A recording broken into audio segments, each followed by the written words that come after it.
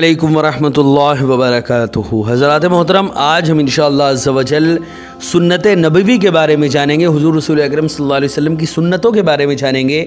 جیسے کہ اس سے پہلے بھی ہم نے تین ایپیسوڈ بسم اللہ الرحمن الرحیم کی برکتوں کے بارے میں جانا، جو حضور رسول اکرم صلی اللہ علیہ وسلم کی سنتوں میں سے ہے، آپ نے فرمایا۔ بسم اللہ کی جو برکتیں آپ نے فرمائی، جو آپ نے اس کی فضیلتیں آپ نے فرمائی، ان تمام باتوں کو ہم نے بطریق احسن جانا۔ آج ہم انشاءاللہ عز مزید بسم اللہ کی برکت جانیں گے کہ ایک کافر بھی کیسے بسم اللہ کی برکت کی وجہ سے اللہ کے عذاب سے محفوظ رہا۔ مزید ہم یہ بھی جانیں گے کیسے ایک شراب پینے والا، برابر کیسے اللہ، کیسے ایک اس کی بخشش و مغفرت ہوئی؟ انہی سب باتوں کے بارے میں آج ہم جانیں گے۔ حضرات محترم، ویڈیو پسند آئے تو ویڈیو کو لائک کریں، شیئر کریں۔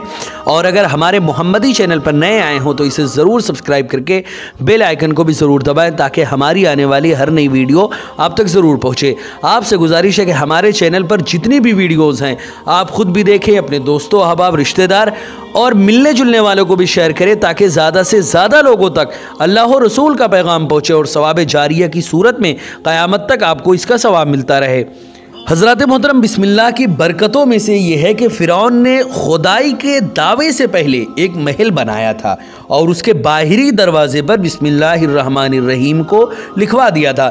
جب اس نے خدائی کا دعویٰ کیا اور حضرت موسیٰ کلیم اللہ علیہ السلام نے اس کو اللہ کے اللہ پر ایمان لانے کی دعوت دی تو اس نے سرکشی اختیار کی اور حضرت موسیٰ علیہ السلام نے اللہ کی بارگاہ میں عرض کیا، اے اللہ، میں بار بار اسے تیری طرف بلاتا ہوں لیکن یہ سرکشی سے باز نہیں آتا اور تیری جانی وہ رجوع کرنے کے بجائے سرکشی اختیار کرتا ہے۔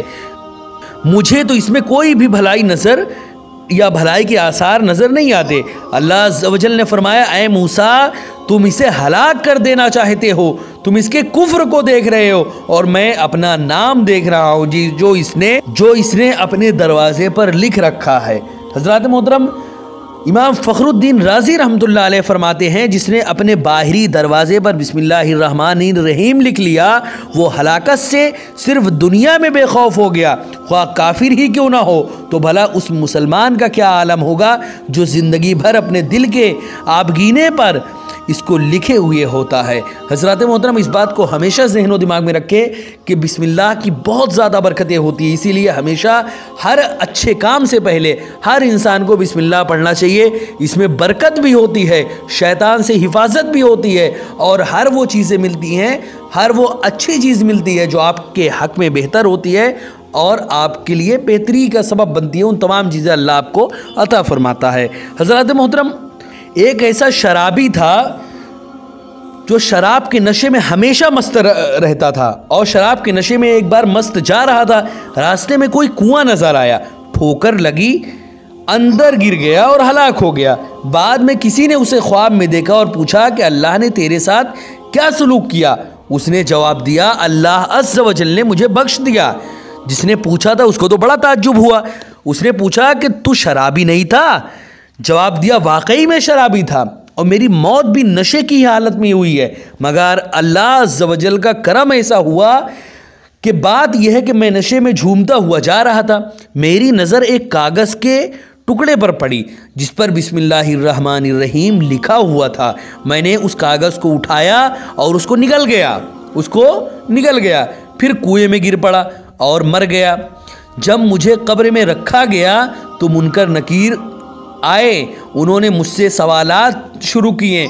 میں نے کہا، مجھ سے سوالات کر رہے ہو، میرے پروردگار کا پاکیزہ نام تو میرے پیٹ میں موجود ہے۔ اتنے میں غیب سے آواز آئی کہ میرا بندہ سچ کہتا ہے، اسے چھوڑ دو، میں نے اسے بخش دیا۔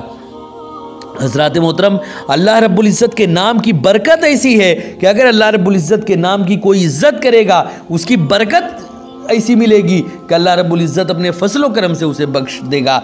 حضرات محترم، اب ہم ایک ایسا عمل بتاتے ہیں آپ کو کہ آپ کے زندگی بھر کی سانسوں کے برابر نیکیاں آپ کو اللہ رب العزت عطا فرمائے گا۔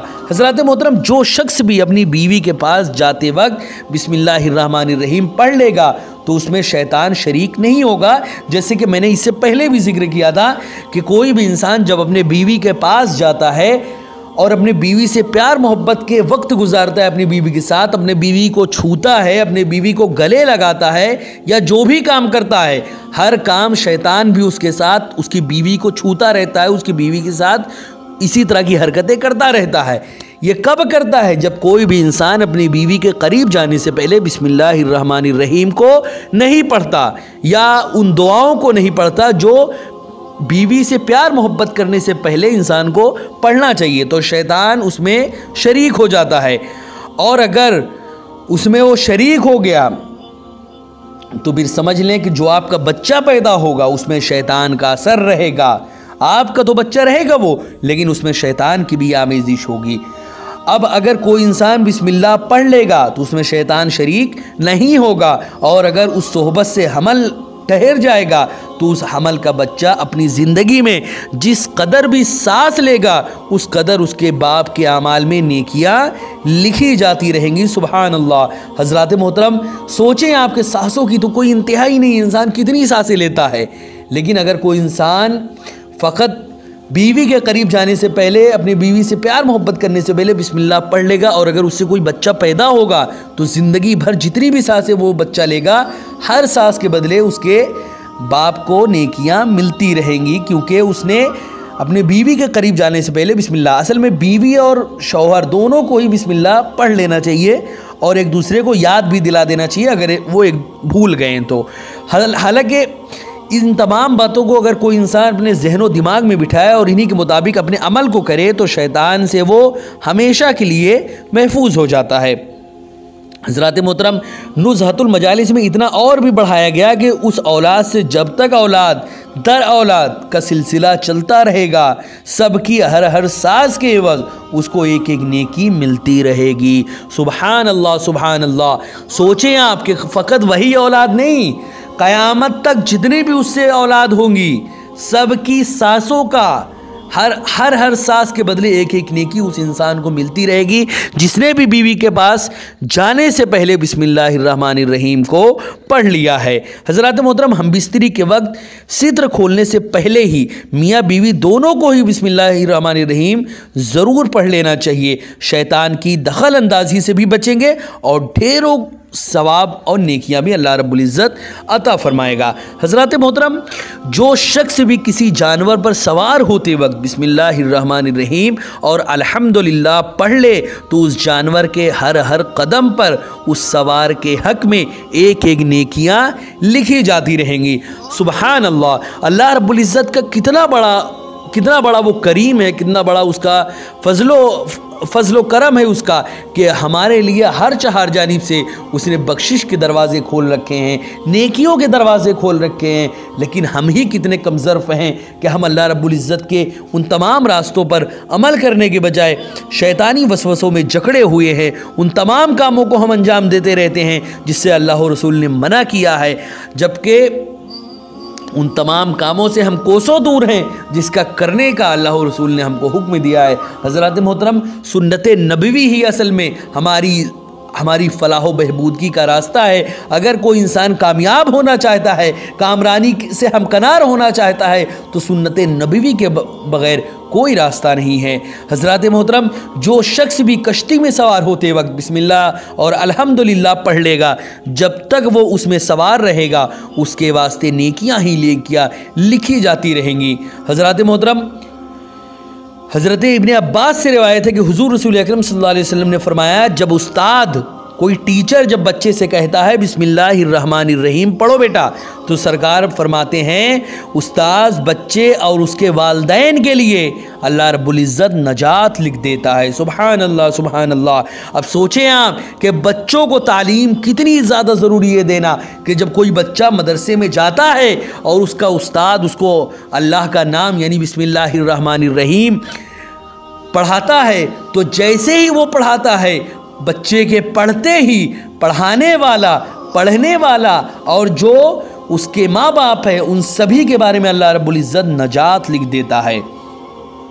حضرات محترم، اب قبر سے عذاب اٹھنے کا وہ واقعہ جو بہت ہی زیادہ عبرت ناک ہے، بہت ہی زیادہ اللہ رب العزت کا فضل ہے اس واقعے میں، اس کو آپ سماعت کریں۔ حضرت عیسیٰ علیہ السلام ایک قبر پر سے گزرے۔ تو اس قبر میں آپ نے کیا دیکھا کہ اس میں عذاب ہو رہا تھا۔ کچھ دیر بعد پھر سے آپ کا گزر اسی جگہ سے ہوا تو آپ نے دیکھا کہ اس قبر میں نور ہی نور ہے اور وہاں رحمت الہی کی بارش ہو رہی ہے۔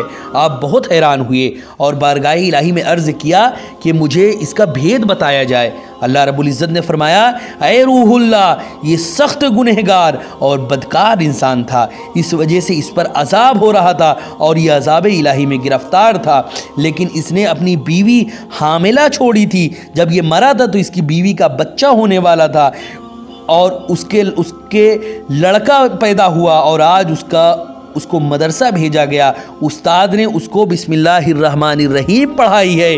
مجھے حیا آئی اس بات پر کہ میں زمین کے اندر اس شخص کو کیسے عذاب دوں جس کا بچہ زمین پر میرا نام لیتا ہوا نظر آ رہا ہے۔ سبحان اللہ سبحان اللہ۔ اللہ رب العزت کا کتنا بڑا یہ کرم ہے کہ اگر کوئی بچہ زمین پر بسم اللہ الرحمن الرحیم بھی پڑھتا ہے، مدرسے میں جا کے تعلیم اپنی شروع کرتا ہے۔ تو فقط تعلیم ابھی اس نے کمپلیٹ نہیں کی، صرف بسم اللہ الرحمن الرحیم ہی پڑھا ہے اس نے۔ تو قبر سے، اس کے باپ پر سے عذاب اٹھا لیا جاتا ہے۔ تو اب سوچیں آپ کہ اگر کسی نے اپنے بچے کو مدرسے میں بھیج دیا اور اس کو تعلیم دلوائی، قرآن کی تعلیم دلوائی، حدیث کی تعلیم دلوائی اور اس کو دین اسلام کی تعلیم دلوائی، تو سوچیں اس ماں باپ کا کیا ہوگا کہ جس نے پوری زندگی اپنے بچے کو اللہ و رسول کے راستے میں وقف کر دیا، ان ماں باپ کا کیا ہوگا؟ جس نے اپنے بچے کو اللہ کے راستے پر چھوڑ دیا کہ مولا، میں نے اس بچے کو تیرے لیے وقف کر دیا، اب یہ تیرے لیے ہی زندہ رہے گا، یہ پڑھے گا بھی تیرے لیے تیرے لیے ہی پوری زندگی دعوت و تبلیغ کا کام انجام دیتا رہے گا۔ ان ماں باپ کا کیا ہوگا مولا؟ اس بات کو آپ خود سمجھ سکتے ہیں کہ فقط ایک بار بسم اللہ الرحمن الرحیم پڑھنے سے اللہ رب العزت کو یہ حیا آئی اللہ رب العزت نے فرمایا کہ مجھے یہ حیا آتی ہے کہ میں اس انسان پر عذاب کروں جس کا بچہ زمین پر میرے نام بلند کر رہا ہے۔ سبحان اللہ اب سوچیں اس بارے میں کہ کیسے اللہ رب العزت کا فضل و کرم نازل ہوتا ہے۔ حضرات محترم، جب بندہ بسم اللہ الرحمن الرحیم کو پڑھتا ہے تو شیطان اس طرح پگھلتا ہے، جس طرح سیسا پگھلتا ہے۔ حضرات محترم، اسی لیے ہر کام سے پہلے انسان کو بسم اللہ الرحمن الرحیم ضرور پڑھنا چاہیے۔ حضور رسول اکرم صلی اللہ علیہ وسلم نے ارشاد فرمایا کہ جس شخص نے بھی ایک بار بسم اللہ الرحمن الرحیم کو پڑھا، اس کے گناہوں میں سے ایک ذرہ بھی باقی نہیں رہتا۔ حضرات محترم اسی لیے ہر انسان کو چاہیے کہ وہ ہمیشہ بسم اللہ الرحمن الرحیم کا ورد اپنے لیے لازم کر لے، اپنے بچوں کو تعلیم دینے کے لیے وہ مدرسہ بھیجے یہ ذہن میں رکھ لے کہ عالم بنانا اگر آپ نے اپنے بچے کو عالم دین بنا دیا، تو آپ نے اپنی آخرت کو سوار دیا۔ آج کے دور میں بچہ ڈاکٹر بنتا ہے، انجینئر بنتا ہے، یہ کوئی برا نہیں ہے۔ ڈاکٹر بھی بناؤ، انجینئر بھی بناؤ، لیکن بچوں کو دینی تعلیم بھی دلاؤ۔ اگر آپ نے دینی تعلیم نہیں دلایا، تو بچہ ڈاکٹر، انجینئر ہی نہیں، چاہے جتنا بڑا آئی ایس اور آئی پی ایس آفیسر بھی بن جائے، حقیقت میں وہ جاہل ہی رہتا ہے۔ کیونکہ جس نے دین اسلام سے دوری اختیار کی، جو دین اسلام سے دور ہو گیا، وہ چاہے دنیا کی جتنی بھی پڑھائی پڑھ لے اگر اس کے پاس دین کی تعلیم نہیں ہے، تو حقیقت میں وہ جاہل ہی ہے۔ آپ آئی پی ایس بھی اپنے بچوں کو بنائیں، آئی ایس بھی بنائیں، یہ بہت اچھی بات ہے۔ لیکن ساتھ ہی ساتھ ان کو دین کی بھی تعلیم دے، اللہ کی بھی تعلیم دے، اللہ رسول کی بھی تعلیم دے، دین اسلام کی بھی تعلیم دے۔ اگر آپ نے ایسا نہیں کیا، تو یہ آپ ذہن میں بٹھا لیں کہ اگر آپ کا بچہ کتنا بھی پڑھ لے، حقیقت میں وہ جاہل ہی رہے گا۔ اگر اس کے پاس دینی تعلیم نہیں ہے۔ حضرات محترم، ہمیشہ آج ہی یہ عہد کرے اور ہمیشہ اس بات کو ذہن و دماغ میں بٹھائیں اور آج ہی یہ عہد کرے کہ ہم اپنے بچوں میں سے کسی ایک بچے کو ضرور مدرسہ بھیجیں گے، ضرور اس کو دین کی تعلیم دلوائیں گے، اللہ کی تعلیم دلوائیں گے۔ اگر ہمارا ایک بچہ بھی مدرسہ چلا گیا تو آپ کا گھر تو کیا پورا کا پورا خاندان، پورا کا پورا رشتہ دار، پورا کا پورا کنبہ اللہ رب العزت بخش دے گا۔ کیونکہ قیامت کے دن وہ انسان کو یہ اختیار دے گا اللہ رب العزت کہ تم جس کو چاہو اس کا ہاتھ پکڑ کر جنت میں لے کر چلے جاؤ۔ اللہ رب العزت عالم دین کو یہ شرف دے گا کہ تم جس کا جس کا چاہو ہاتھ پکڑ کر جنت میں لے کر چلے جاؤ۔ تو آپ سمجھیں کہ کتنا بڑا فضل ہے، کتنا بڑا کرم ہے اللہ رب العزت کا۔ اسی لیے ہر انسان کو چاہیے کہ وہ اپنے جتنے بھی بچے ہوں، اگر ایک ہی بچہ ہو تو ضرور اس کو عالم دین بنائے۔ عالم دین بنائیں پھر اس کے بعد آپ کو جس بھی لائن میں اس کو لگانا ہے بزنس کے لائن میں لگانا ہے، اس میں لگا دیں۔ اس کو آپ دین کی ہی تعلیم میں لگانا ہے کہ آپ بچوں کو پڑھایا کریں۔